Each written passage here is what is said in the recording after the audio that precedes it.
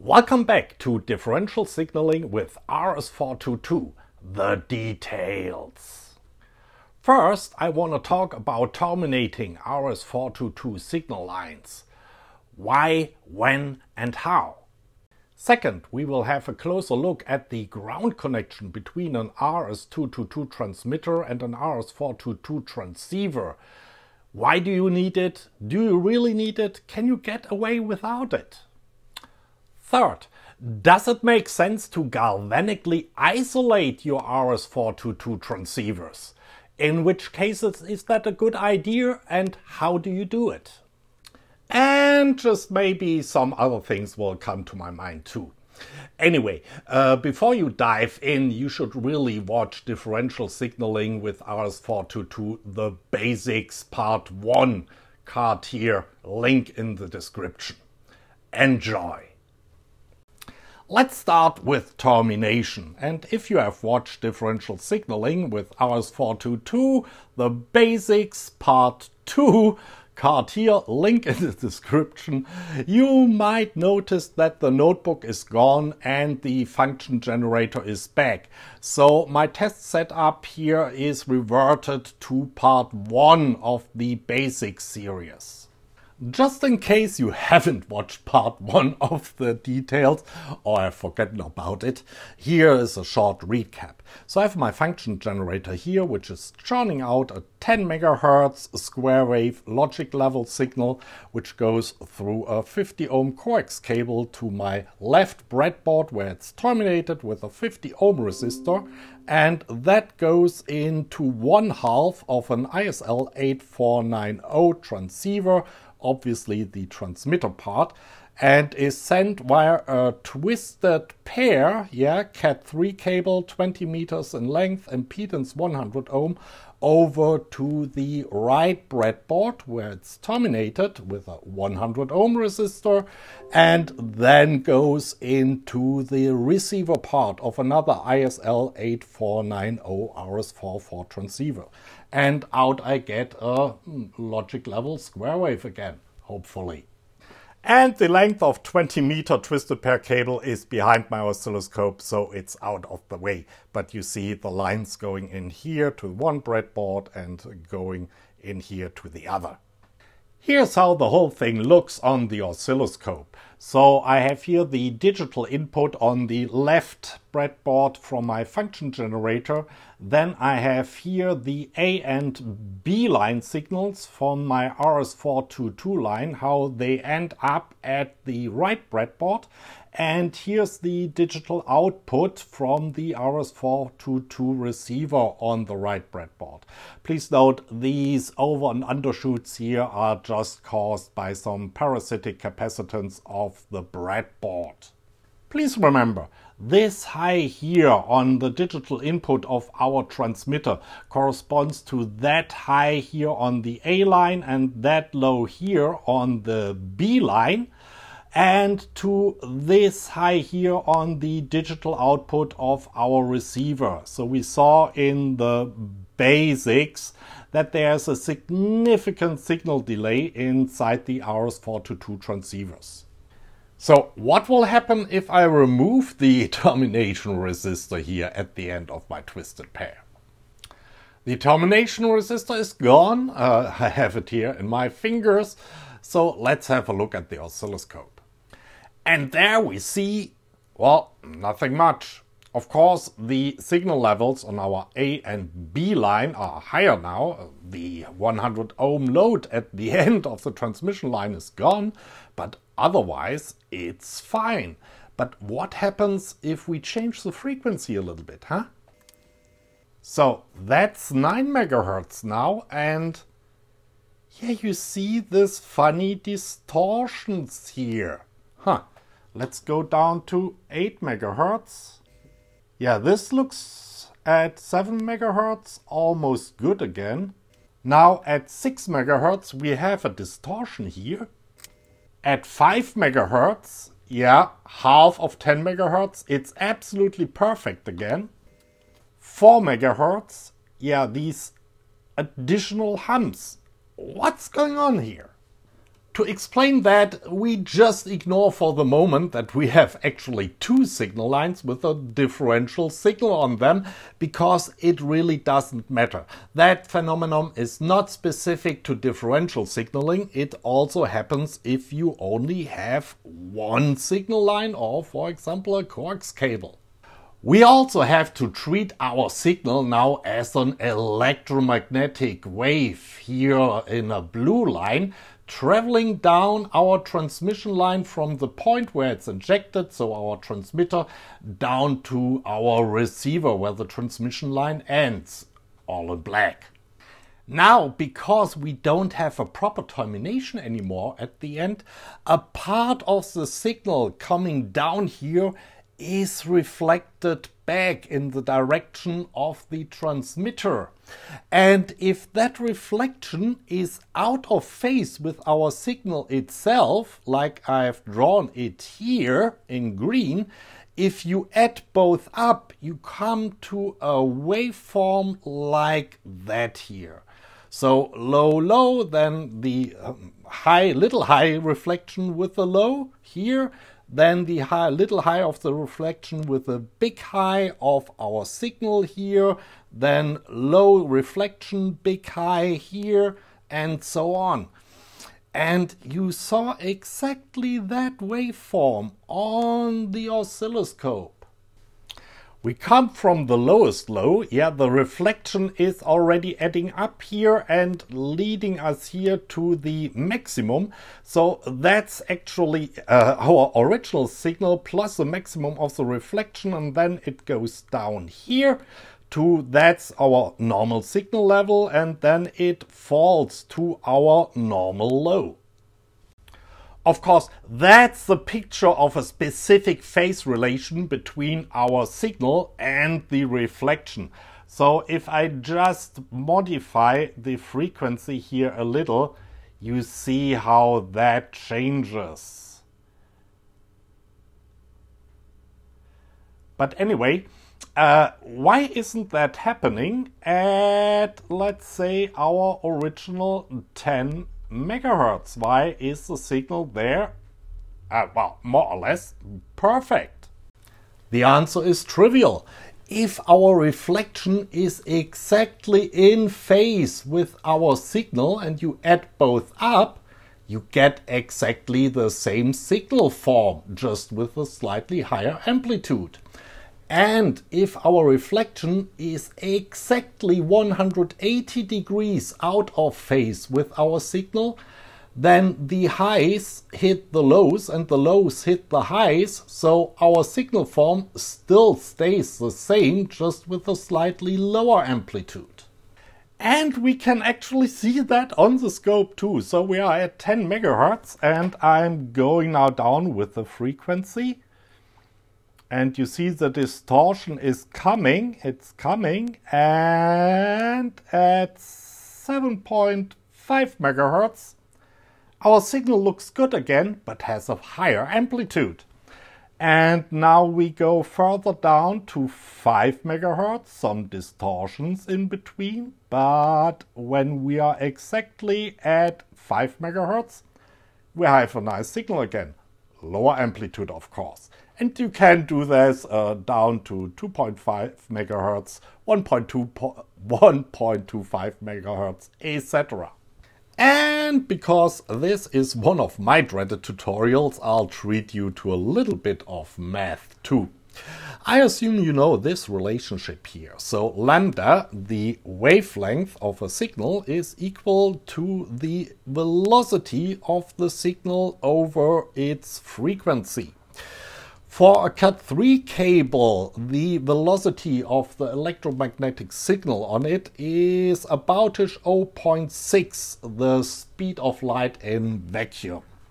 Now, if the length of our cable d is exactly n, n being natural numbers, so 1, 2, 3, 4, 5, etc., times lambda over 2, then we have a perfect destructive interference, so not that example here, but a destructive interference between our signal blue and the reflection. So we still retain the signal form but at a lower amplitude.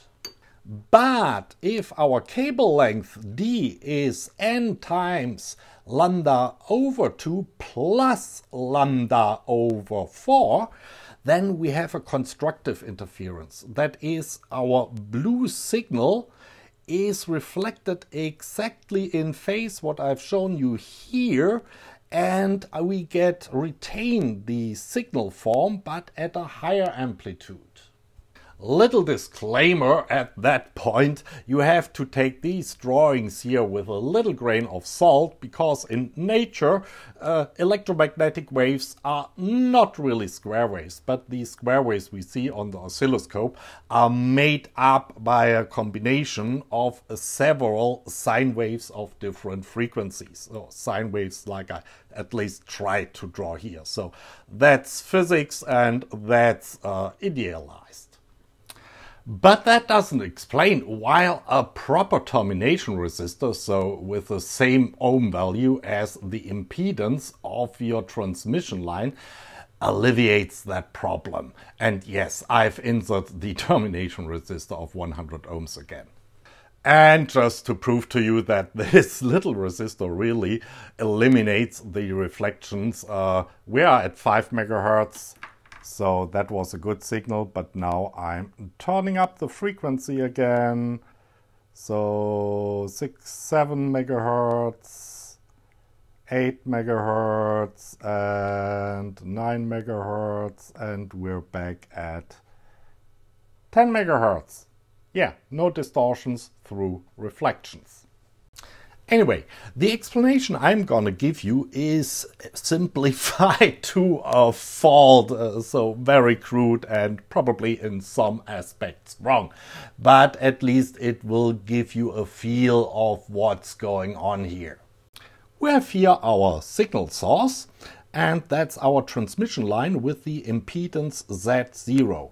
While impedance is also measured in ohms, we use here the letter Z and not the letter R like for uh, a DC resistance. And then we have here our termination or our load at the end of the transmission line also with the impedance ZL for load if the impedance of our transmission line is equal to the impedance of our termination or our load, then two things are true. First, of course, the power dissipated, yeah, that's a little bit a crude thing to say, in the transmission line is exactly equal to the power dissipated here in our termination or load. And second, the power in our load we can get out with a given signal source is at its maximum. There's actually a video where I characterize my cheap function generator uh, somewhere over there. And in this video, this is explained in more detail. Card here, link in the description. But if Z0 is smaller than ZL, the following is true. First, the power dissipated in the transmission line is of course smaller than the power dissipated in our termination or whatever is at the end of our transmission line. And secondly, the power dissipated or received here at the end is smaller than the maximum power we could receive here when Z0 is equal to ZL. So far, everything was absolutely correct, but now comes a, a, little semantic gap and jump. So, if we look at that case and we say, okay, we're transferring here through the signal line a lot of power in form of uh, electromagnetic wave and only a smaller part of that power is here absorbed again in our termination or our load at the end of the line, then where does the difference go?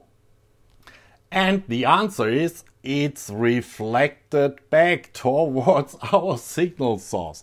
Yeah, very crude explanation. Okay, I'm aware of that, but now you have an idea what's going on.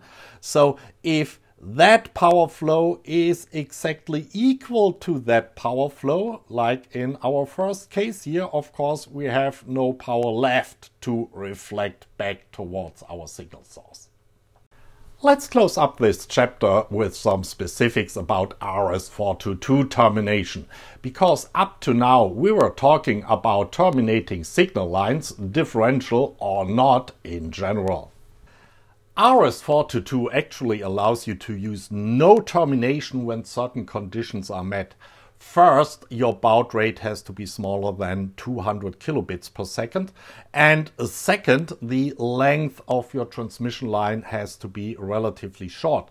The condition here is that the time for your data rate, so uh, that's 1 over your baud rate, is greater than four times the time delay on your transmission line.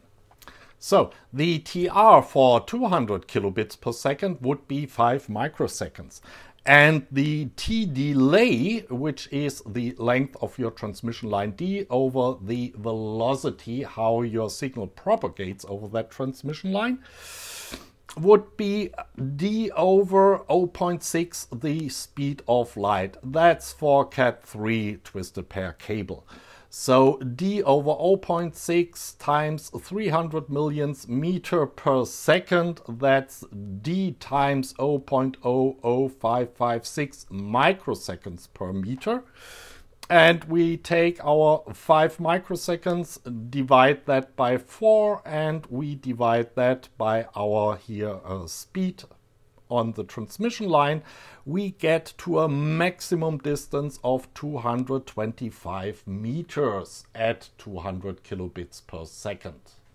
Looking again at this graph here, which I've already shown in the basics, I already carded that link in the description, by EEGRW, Creative Commons license, link also in the description, we see that at 200 kilobits per second, we can use a cable length of almost 600 meters. So not terminating stuff has its drawbacks. But it also has one advantage. Not having that termination resistor at the end of your transmission line means that your line driver or your transmitter doesn't have to work that hard.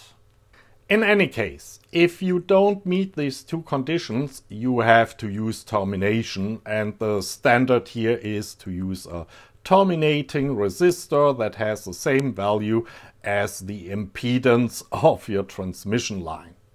There are two more termination techniques used with RS422 which I will mention but not go into the details.